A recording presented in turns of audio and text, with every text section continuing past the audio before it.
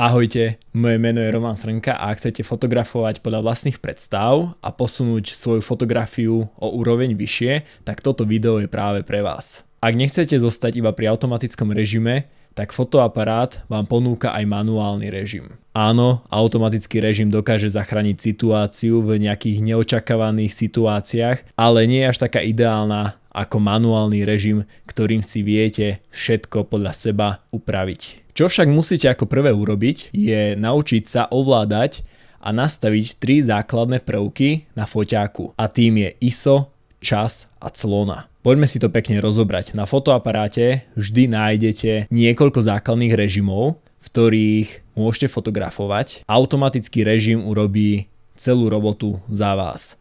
My sa chceme posunúť o level vyššie a tým pádom chceme prejsť na ten samotný manuálny režim. Ak chcete fotiť v manuálnom režime, musíte mať vopred nejaké očakávania, taktiež nejaké skúsenosti a vedieť narábať s jednotlivými základnými prvkami. Clona. Clona riadi množstvo svetla, ktoré prechádza cez objektív do fotoaparáta. Je dobré mať na pamäti, že táto clona môže byť pevná alebo premenlivá. Závisí to od toho, aký objektív máte momentálne k dispozícii. Už z názvu vychádza, že pokiaľ je pevná, nemožno ju nejako nastaviť. A vždy prepustí rovnaké množstvo svetla na snímač fotoaparáta. Pri clone je veľmi podstatné vedieť, čo znamená clonové číslo. Clonové číslo sa označuje vo všeobecnosti veľkým písmenom F. Toto clonové číslo určuje a ovplyvňuje hĺbku ostrosti, ktorá má veľký vplyv na to, či bude zaostrená iba určitá časť objektu. Ide o veľmi jednoduchú priamu úmeru. Čím vyššie je clonové číslo, tým väčšia je hĺbka ostrosti. A naopak. Prichystal som si pre vás na názornú ukážku jeden objektív, ktorý má pevné clonové číslo. Ide o clonové číslo 1,8. Poďme sa teraz pozrieť na druhý prvok z tejto svetej trojice. Ide o čas. Čas označuje rýchlosť, ako rýchlo sa uzávierka na fotoaparáte zatvára. Nastavenie tohto času je veľmi dôležité, lebo zabezpečuje hlavne to, či bude objekt ostrý alebo rozmazaný. Správnym nastavením času dokážeme zachytiť e, objekt na fotografii buď veľmi ostro, alebo veľmi rozmazane. Poďme si to ukázať na nejakej názornej ukážke.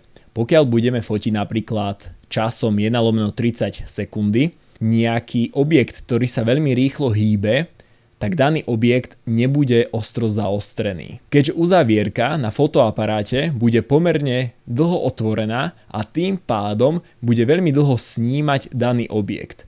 Ak napríklad takýmto časom 1 lomeno 30 budeme fotiť vodopád, tak vodopád bude krásne rozostrený. Na druhej strane, ak budeme fotiť takýto vodopád kratším časom uzavierky, napríklad 1 lomeno 4000 sekundy, tak uvidíme na fotografii samotné kvapky toho vodopádu. Iný príklad.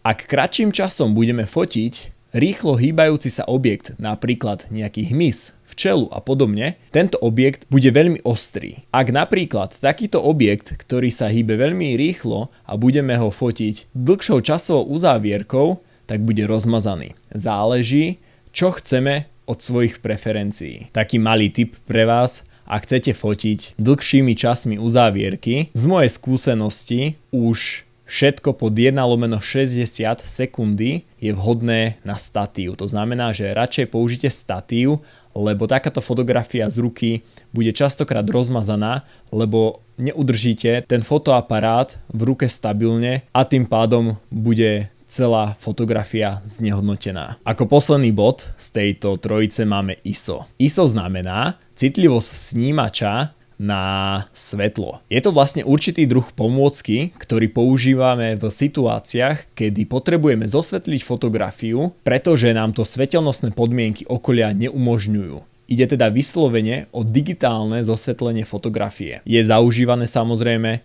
že čím väčšie ISO nastavíte na svojom fotoaparáte, tým budete mať väčšiu pravdepodobnosť mať šum na svojej fotografii. To znamená, že čím nižšia hodnota ISO, tým je obrázok ostrejší a kvalitnejší. Čo z toho vyplýva?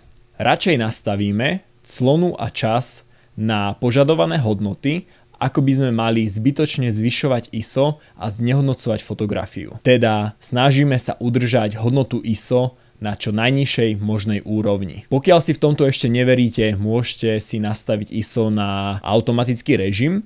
Samozrejme, tie výsledky nemusia byť úplne podľa vašich očakávaní, ale ono to ide ruka v ruke s tým, aj aký drahý fotoaparát vlastníte. Čím drahší fotoaparát, tak tým je väčšia pravdepodobnosť, že zvládne bez šumu väčšie ISO. Tak, toto by sme mali tri základné prvky pri fotení. Dúfam, že som vám danú problematiku aspoň trošku priblížil. Myslím si, že toto nie je ani zďaleka moje posledné video, ktoré sa bude zaoberať fotografiou ako takou. Budem rád za každú spätnú väzbu. Moje sociálne siete máte dole pod videom a majte ešte krásny deň. Ahojte.